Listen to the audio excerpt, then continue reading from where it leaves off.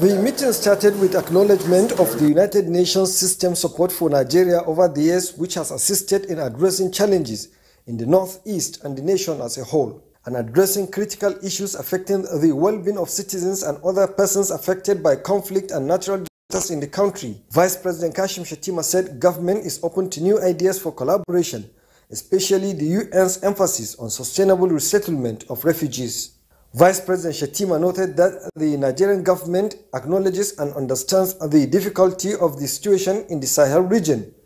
noting the challenges experienced in the country, assuring that the president is working round the clock to get things right by diversifying the economic base of the nation. Generally, the fact that we need to gradually shift from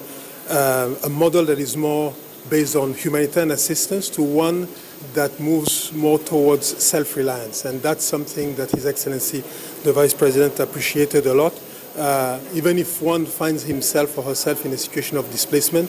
one still has skills that one can contribute to the economy of the community that is receiving that person. So it is important that we uh, partner with development actors uh, to make sure that we go beyond just providing humanitarian assistance. And that was a, a point that was raised the United Nations delegation also highlighted Nigeria's exemplary treatment of refugees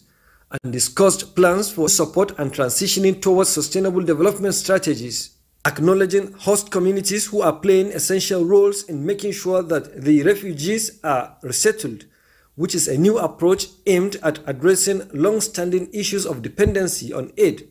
and facilitate easier reintegration when refugees return to their home countries. From the State House,